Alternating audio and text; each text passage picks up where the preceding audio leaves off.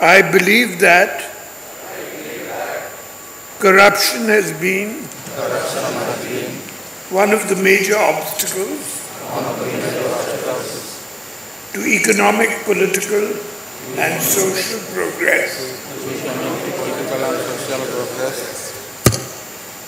of our country. I believe that all stakeholders such as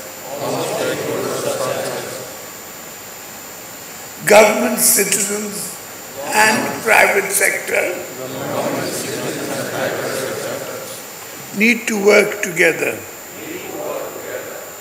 to eradicate corruption. I realize that every citizen should be vigilant and commit to high standards of honesty and integrity at all times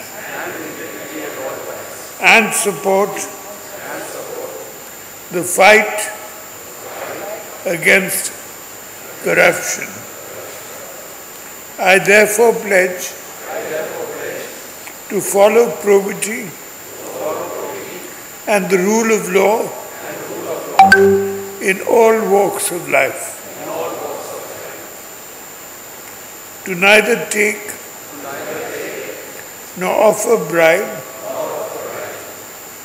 to perform all tasks in an honest and transparent manner,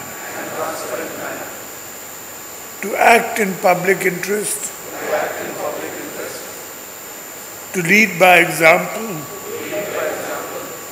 exhibiting integrity in personal behavior,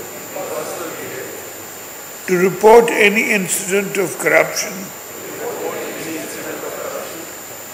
to the appropriate authority.